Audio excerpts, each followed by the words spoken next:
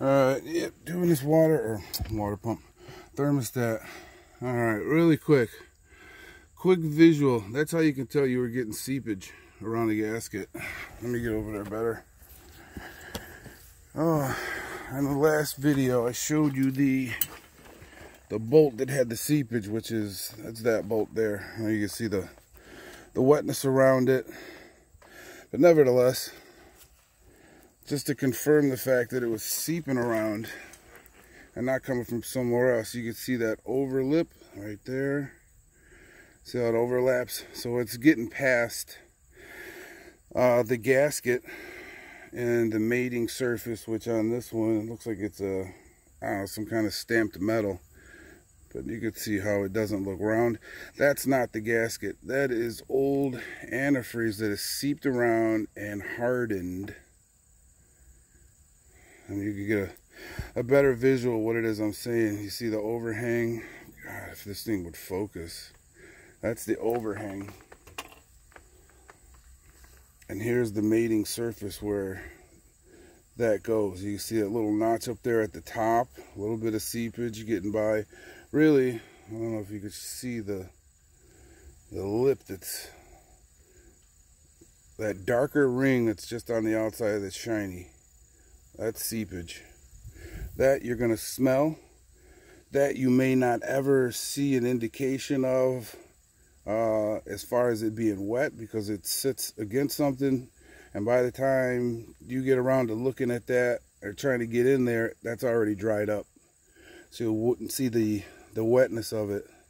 But you can see that little bit of yellow right there. It's actually orange, uh, but it looks yellow. It's seepage all around the mating surface. So like I said, that you're gonna smell. That's gonna be one of those, oh, I know it's leaking antifreeze, I just can't find it.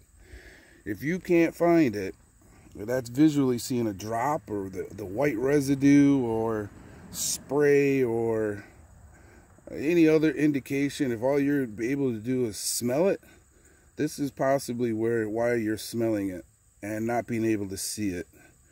Uh, water pump, if it's leaking, it's going to show you. It's going to weep. You'll see the white residue. If it's that slow or tiny of a leak, you'll see the white residue as it dries or when it dries.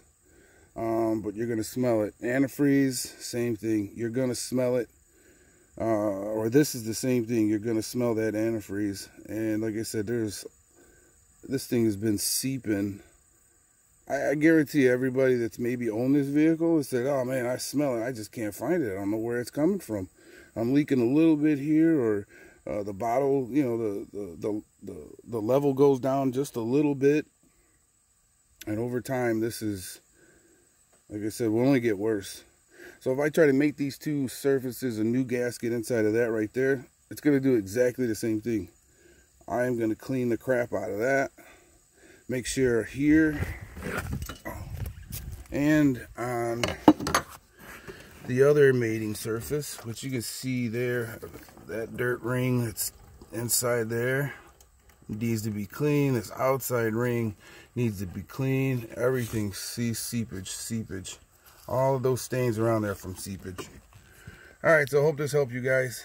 Uh, I don't know, that's it. I'm going to get back to work later.